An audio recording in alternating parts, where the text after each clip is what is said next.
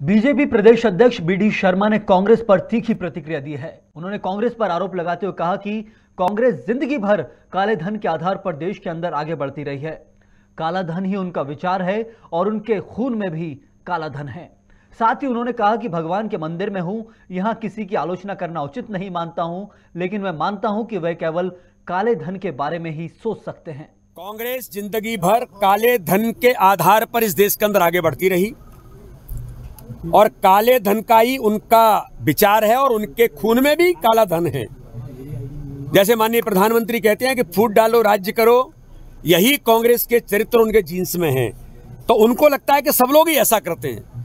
लेकिन मैं तो आज भगवान के मंदिर में हूँ, मैं किसी की आलोचना करना यहाँ उचित नहीं मानता, लेकिन मैं ऐसा मानता हूँ कि वो काले धन के बारे में ही सोच सकते हैं। लेकिन ये जो हम अभियान हमारा है, कार्यकर्ताओं का अपने विचार के लिए और अपने संगठन के लिए समर्पण है। ये किसी प्रकार का कोई कलेक्शन नहीं है ये समर्पण है।